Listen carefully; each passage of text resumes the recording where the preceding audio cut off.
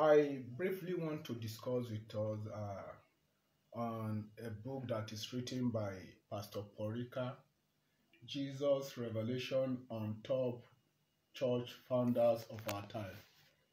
It is said that this was a revelation shown to his wife by Jesus about the founder of the churches, father of faith in this generation. I just make some little jot out of the the main book and I want us to briefly go through it. One of the people he mentioned, the first person was uh, Pastor E.A. Adeboye of Redeemed Christian Church of God. What is said about him that he has joined the world leader to be a peacemaker. So Jesus has rejected him that the redeemed members that still follow and believe in him will not make heaven. He further explained that Daddy Adeboye belongs to a brotherhood and has caged has been caged by satanic regulation and is now in pain, frustration, and confusion. He left the law since 1990. But uh, I think that the Adeboye come into the political uh, was known in the political era by when Obasanjo came into power in 1999. You can see this misleading when you say since 1990 he has left.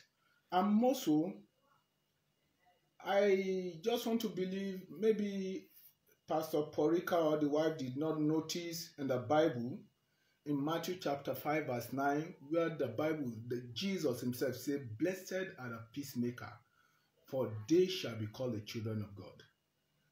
The second one on his list is Bishop David Oyedepo of the Living Faith Church, that he has left the Lord for a long time and has gone into covenant with Satan for worldly riches, honor, and fame. Living Faith Church is not a church of Christ and advise people to leave. Of course, you see, this is not true. Another man he mentioned was Pastor Chris Oyakhilome of Christ Embassy, that they are men pleaser, not God pleaser.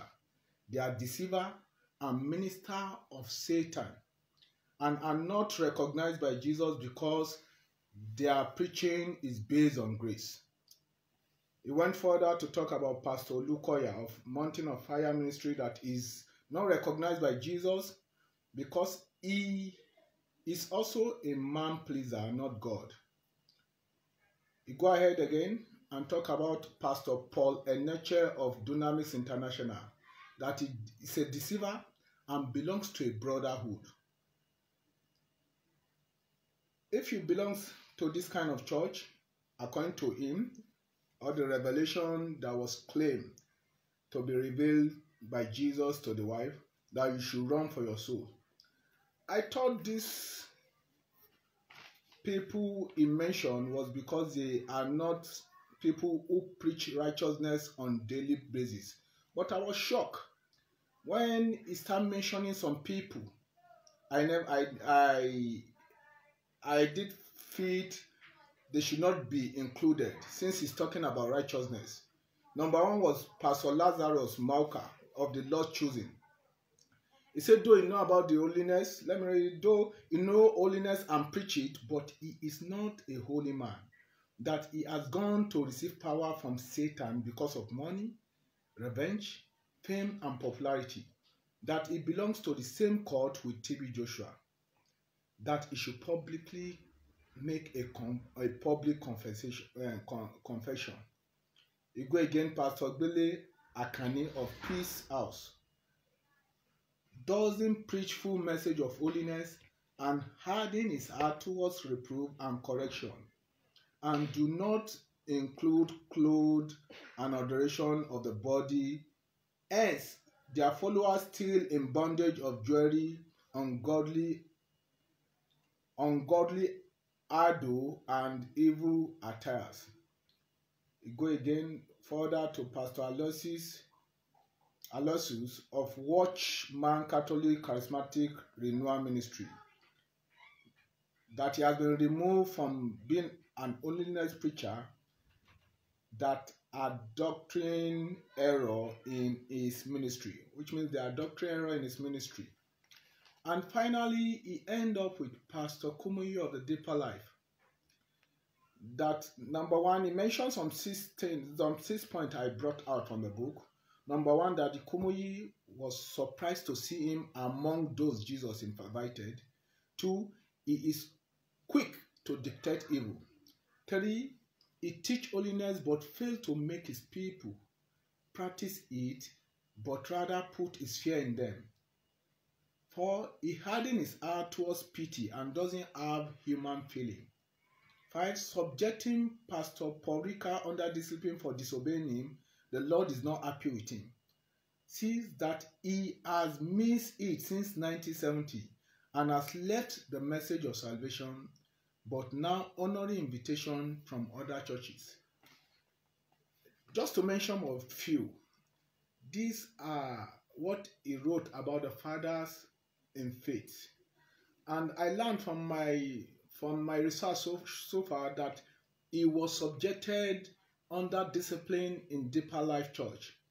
And before you know it, he left the church to form his own.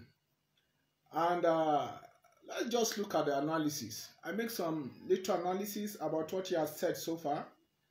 Number one, Pastor Paul Rika and Linda Rika could not differentiate between the church doctrine, Bible doctrine, and Jewish culture.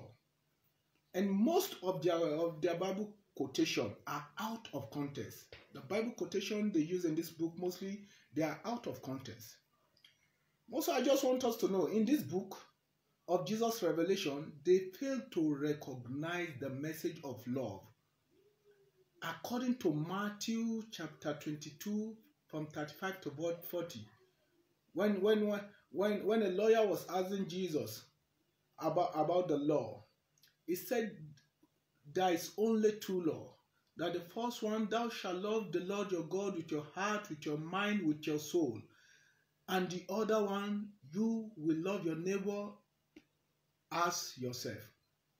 Now, if you to recognize this, this message, this doctrine, this teaching, and speak against those that preach love. Secondly, now in the issue of love, Jesus was cited sitting with a sinner, eating with them.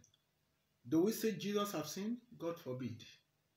That implies that if people like this Pastor Paul Rika were alive then, they could have accused Jesus that he's no longer the Son of God or Jesus has, has left the way.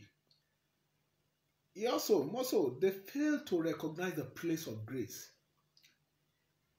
And the Ephesians, in the book of Ephesians, chapter 1, verse 4 to 7, it makes us to understand that we are saved by grace and this man failed to recognize the place of grace. All through the chapter 8 of this his book, he was busy advertising his ministry, making people to understand that is the real ministry and the acceptable ministry. Also in chapter 9 of the same book, he also he, he, he make himself superior to every other minister making them believe is the is the elected. He even called himself the savior of this generation.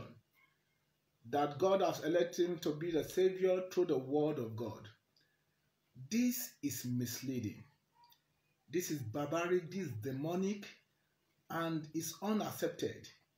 This is nothing but character assassination of fathers in faith. This is an act of pride for somebody to say is the one that God has placed now all over the world to be the savior, which means he has ascribed to himself the the the the, the, the, the responsibility of Jesus Christ.